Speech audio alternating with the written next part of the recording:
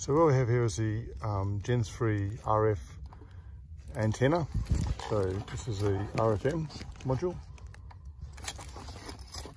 So what we have here inside here, and things we need to test, check for, is there is the system OK light, which should be on 90% of the time and off 10% of the time.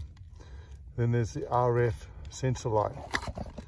So this here, you see it in the, in the light here, but it's got a little flicker so every time it detects any um, activity, it flickers and, and um, so if this is solid, then you're not going to have communication with your with your system or the Gens 3 system to the wall sensors or to your wireless touch panel if you have one.